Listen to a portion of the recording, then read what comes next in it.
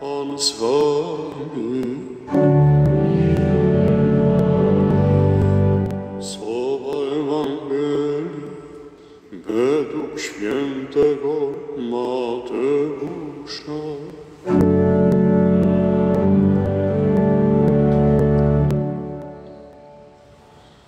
Jezus opowiedział swoim uczniom tę przypowieść.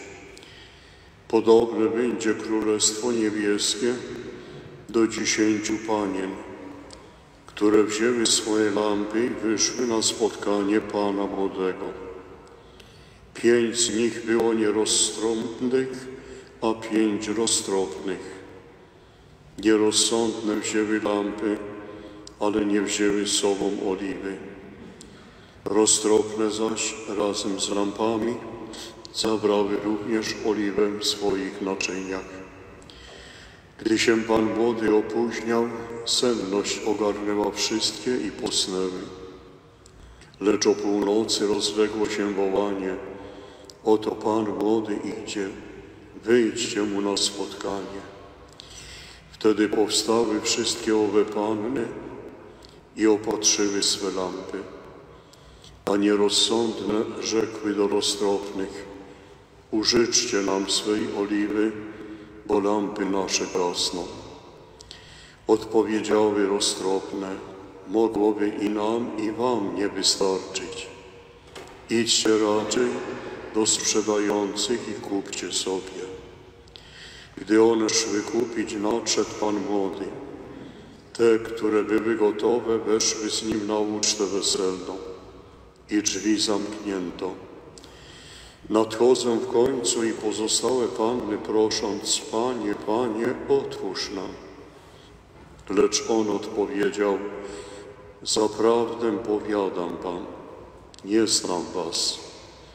Czuwajcie więc, bo nie znacie dnia ani godziny.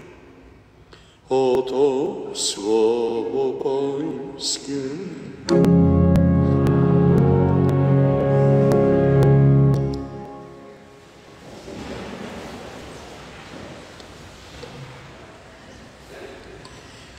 Czuwajcie więc, bo nie znacie dnia ani godziny.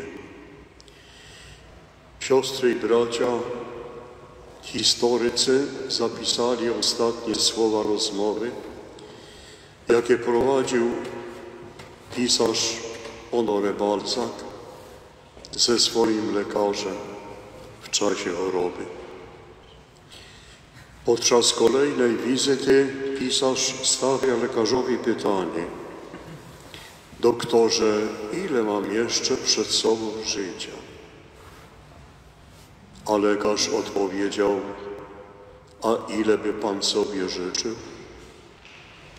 Jeszcze przynajmniej kilka lat, albo przynajmniej jeden rok.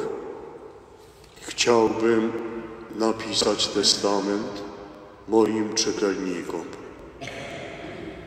Wtedy lekarz powiedział, jeśli chce Pan pisać testament, radziłbym rozpocząć natychmiast.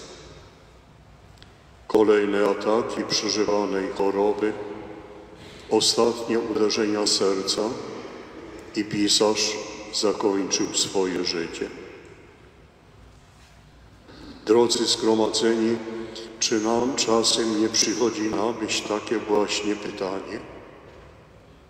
Ile mamy jeszcze przed sobą życia? A tak naprawdę chcielibyśmy znać czas odejścia z tej ziemi?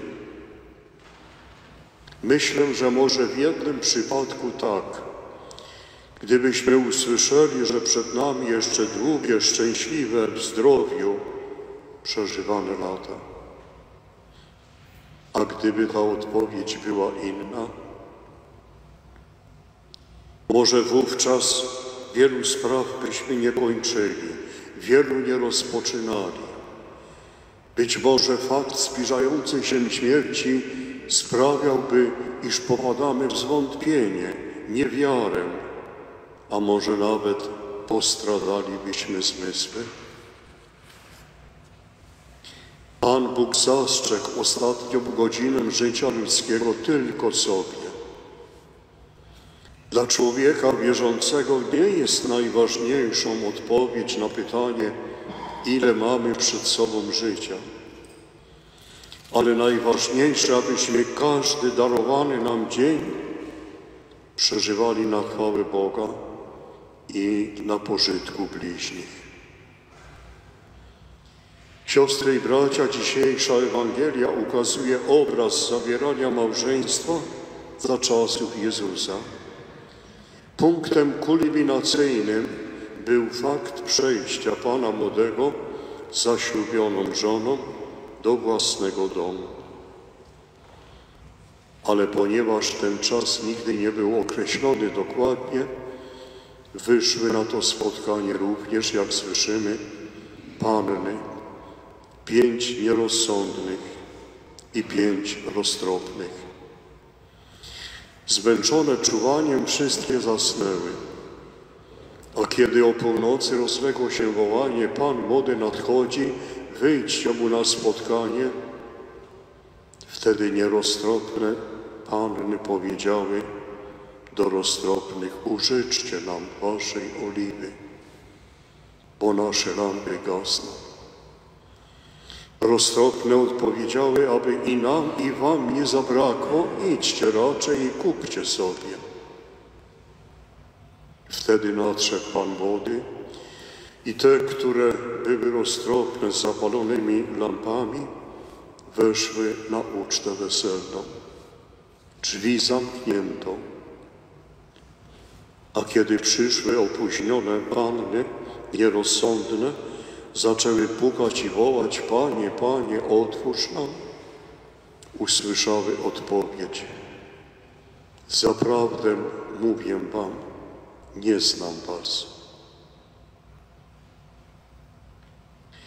Lampa zapalona była symbolem dobrych spełnianych uczynków, z których kiedyś każdy z nas rozliczy się przed Bogiem. Dlatego nierozsądność polega czasem na tym, że jako ludzie wiary zapominamy o tej prawdzie, na którą zasługujemy jako nagrodę życia wiecznego przez dobre życie.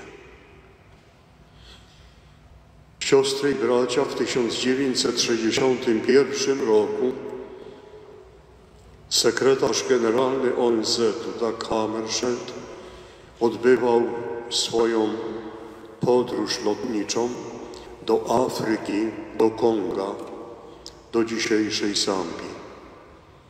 Jechał w celach misji pokojowych. Niestety uległ samolot katastrofie, sekretarz generalny zmarł. Po jakimś czasie w domu w Szwecji, gdzie urodził się Dag Hammarskjöld, na ścianie domu umieszczono pamiątkową tablicę ze słowami, które Dag Hammarskjöld jako mały chłopiec dedykował swojej mamie na kolejne urodziny. Te słowa brzmią tak. Kiedy się urodziłeś, wszyscy się radowali, a ty jeden płakałeś. Żyj tak, aby w godzinie Twojej śmierci wszyscy płakali, a Ty jeden, abyś nie miał łzy w oku i abyś miał śmierć szczęśliwą, kiedy przyjdzie. Drodzy zgromadzeni, oby nikt z nas nie usłyszał tych najsmutniejszych słów dzisiejszej Ewangelii. Amen, amen, dico vobis, nestio vos. Zaprawdę, zaprawdę mówię wam, nie znam was. Amen.